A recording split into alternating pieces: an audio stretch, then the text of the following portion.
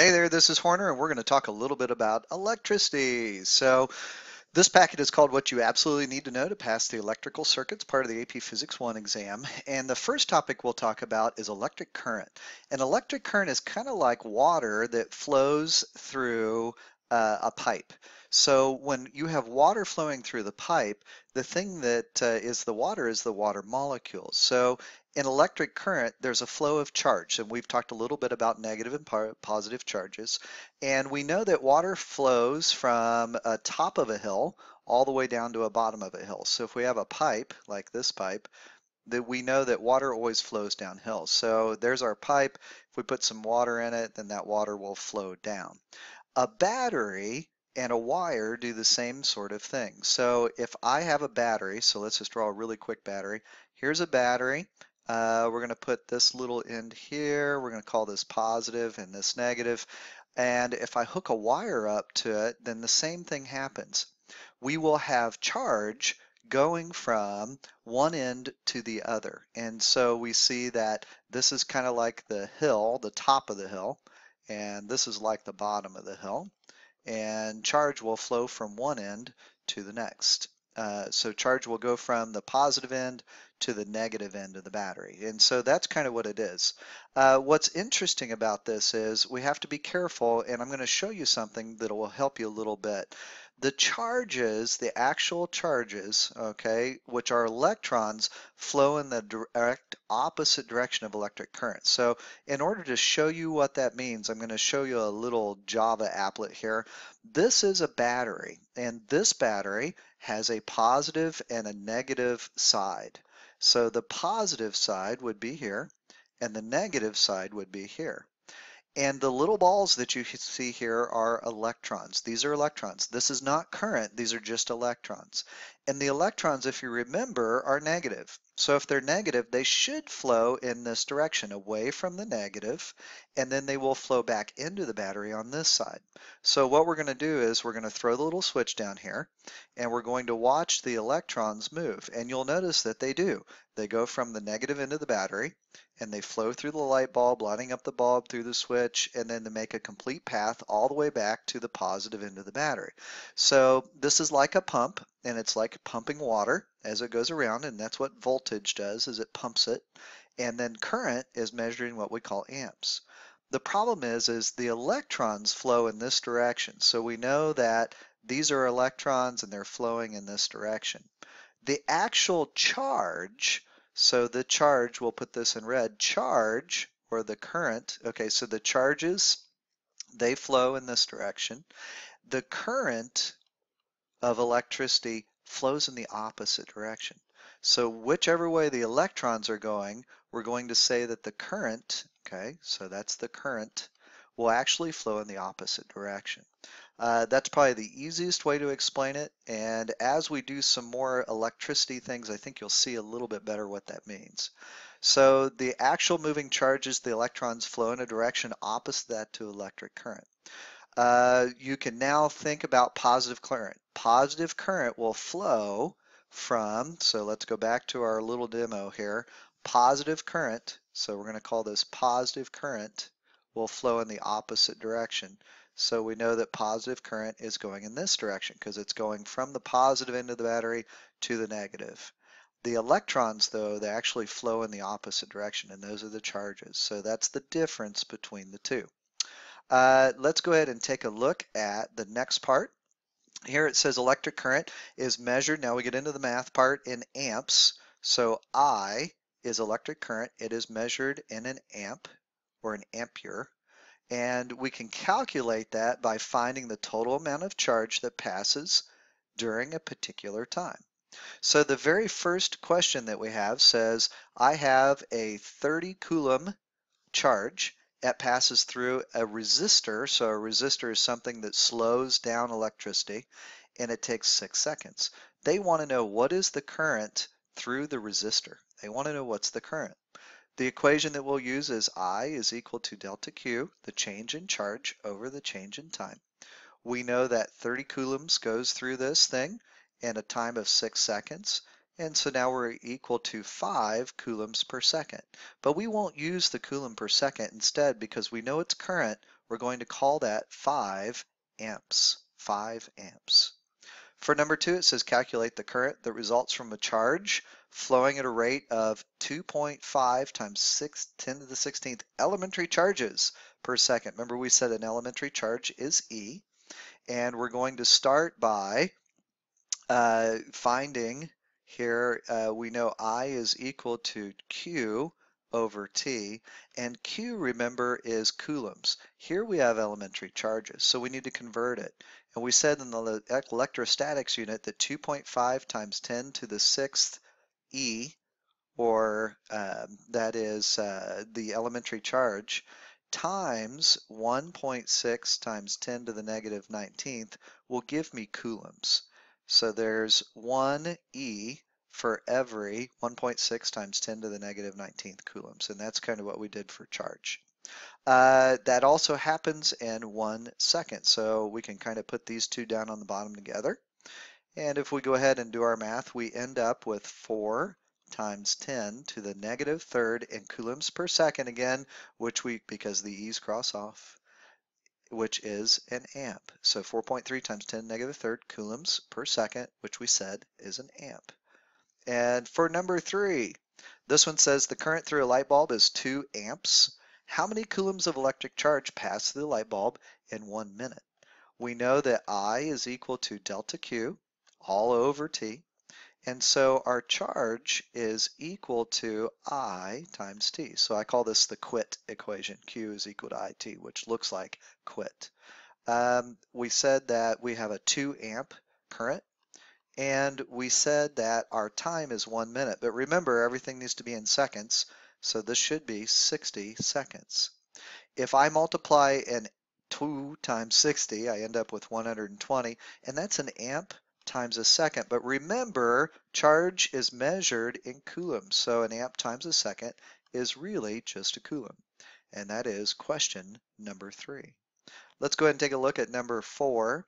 It says I have a one and a half volt battery. So voltage is a measure of potential. So here we have electric potential in a battery. So you have a one and a half volt AAA battery. It supplies 750 milliamps. Uh, if you look in your, uh, if you look at your AP equation sheet, you'll notice that uh, milliamp is 10 to the negative sixth. So that'd be a milliamp, so 750 times 10 negative 6. They flow through the light bulb for 5 minutes while a 1.5 volt C cell supplies 750 milliamps, but for 20 minutes, so it will last four times longer. Compared to the total charge transferred by the AAA cell through the bulb, the total charge transferred by the C cell is, and then our answer here, we've got to think about what is delta Q. Delta Q is a change in charge, and that's equal to our current times our time. And because our time is much bigger, for the C cell battery, we said it was a difference of four, so 20 minutes divided by five minutes gives me four times the time. If I have four times the time, and let's just say that I have one for I, then I know that the change in my charge should be four times greater too. And therefore our answer is letter D. Number five is our next question. And for number five, it says the current traveling uh, from the cathode to the screen in a television picture. So in the old tube TVs, those great big TVs we used to have, if you look at it from the side, there would be on the inside a big tube. And that big tube would have a screen on it, and then would come back to the back, and there'd be a little box there, and that box would shoot electrons towards the front of the screen. Uh, so the current that travels from the cathode to the screen, so from this little box in the back to the screen, has a current of equal to 5 times 10 to the negative fifth amperes, so amps. They want to know how many electrons strike the screen in a time equal to 5 seconds. So the first thing we're going to do with this one is we're going to say I is equal to Q over T. We're going to solve for Q. Remember, it's Q is equal to IT, so it's the quit equation. I know my I is 5 times 10 to the negative fifth, and our time here is 5 seconds. So we end up with a charge of 2.5 times 10 to the negative fourth coulombs. How many electrons is that? Well, let's start with the 2.5 times 10 to the negative fourth coulombs. And we're going to need to convert that to electrons. So one electron, we said, is 1.6 times 10 to the negative 19th coulombs. And if you do your math, you will end up with 1.6 times 10 to the 15th electrons. So that's a lot of electrons hitting the screen. The next topic that we're going to look at is called resistance. Uh, if you are running and somebody grabs a hold of you and pulls you back, they are resisting you. So when you're in a wire, when charges are moving easily through some materials like a conductor, in other materials they don't flow very well. So if you try to hook up a circuit with plastic, it doesn't work very well. And the ability for something to conduct electricity is called conductivity. Really good conductors have really high conductivities, and the conductivity depends on the density of the free charges available to move, so how many little charges you have and how how well they can move, and then how well they actually can move through this, this wire thing. Uh, the material's ability to resist the movement is called resistivity. And this little guy is symbolized with the Greek letter rho.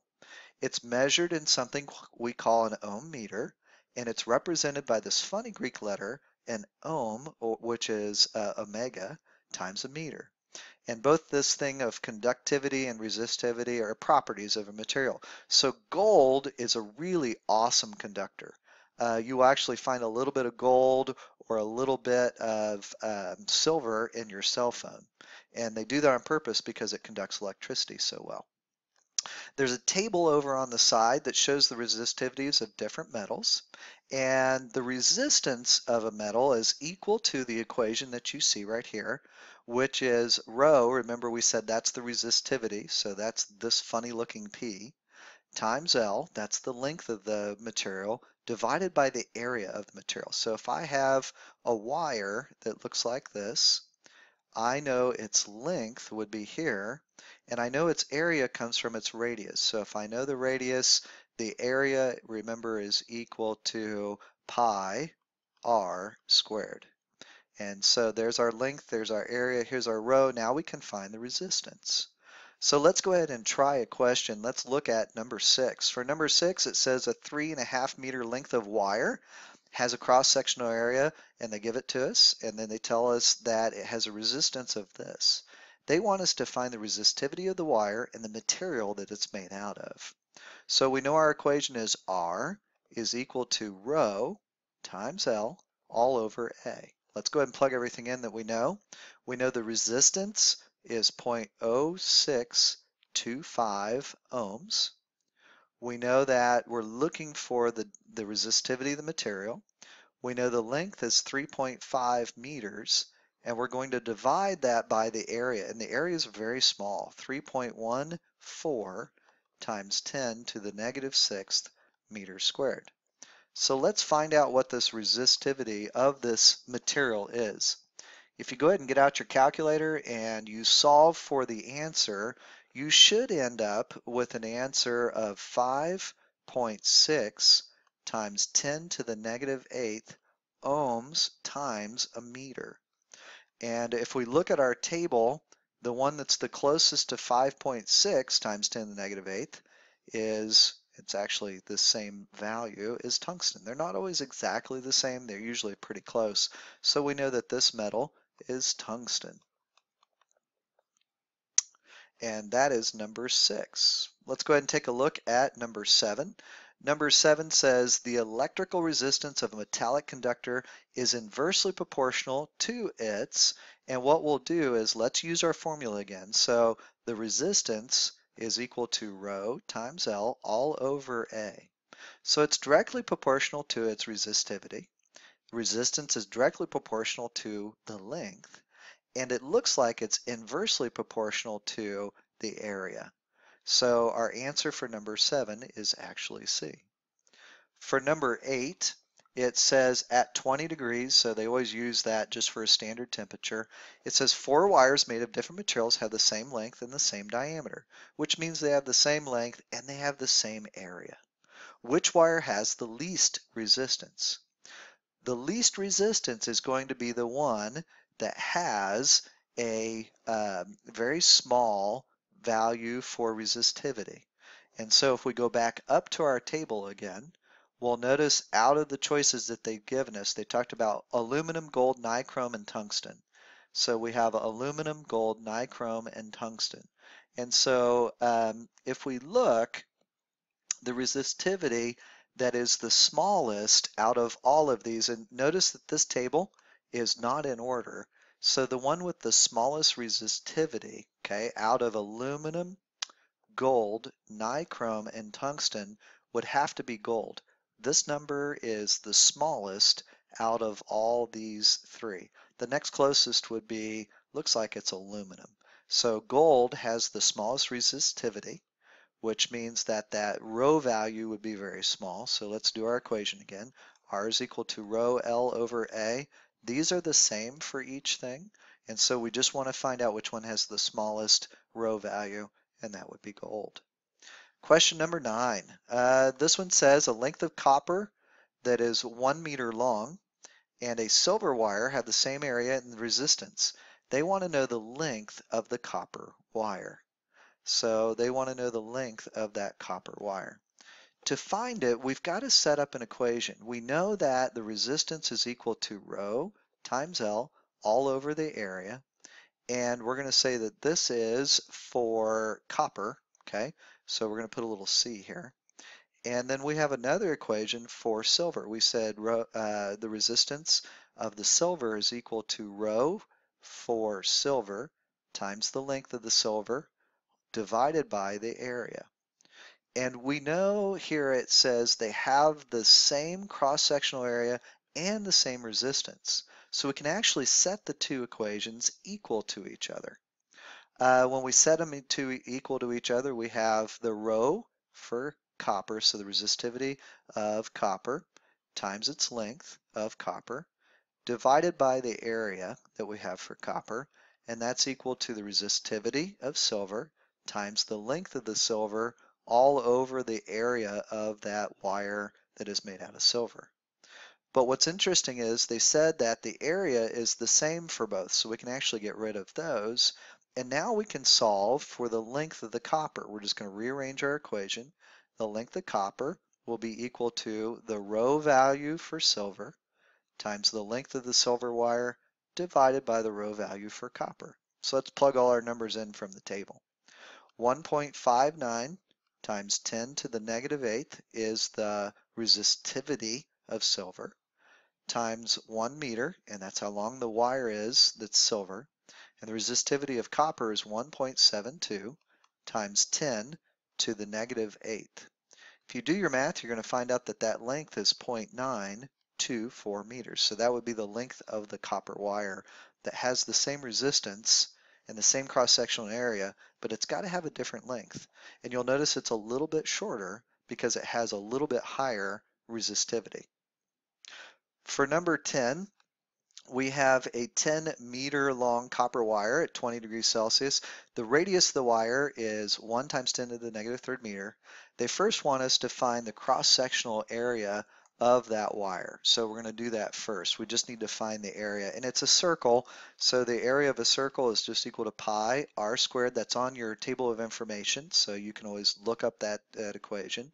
So this will be pi times the radius, which is 1 times 10 to the negative third, and we need to square it, and that gives us 3.14 times 10 to the negative sixth square meters.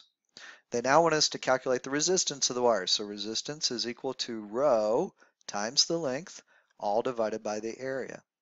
Our rho value for copper, so notice this is copper, if we look on our table, is 1.72 times 10 to the negative eighth. We're going to divide that by 3.14 times 10 to the negative sixth, and we end up with a resistance of 5.5 times 10 to the negative second ohms. And that is question number 10. Uh, and I think at that point we are done. And we in the next video we'll start with Ohm's law.